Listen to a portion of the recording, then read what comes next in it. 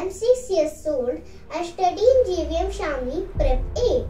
Today I am going to recite Swami Vivekananda's Chicago speech. Sisters and brothers of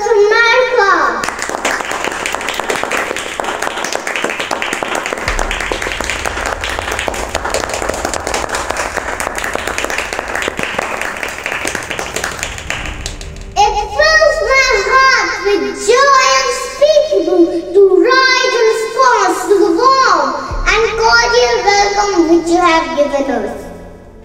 I thank you in the name of most sincere daughter of monks in the world. I thank you in the name of mother of religions. I thank you in the name of millions and millions Hindu people of our classes. My thanks also to some of the speakers on this platform who referring the delegate from the audience.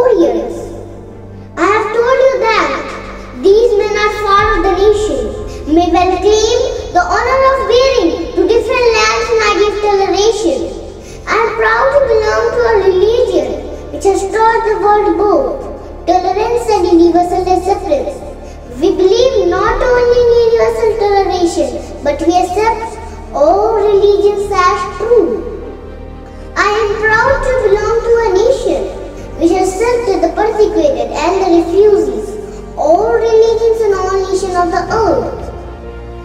Quote to you a few lines from him, which I remember to have re- repeated by millions of human beings.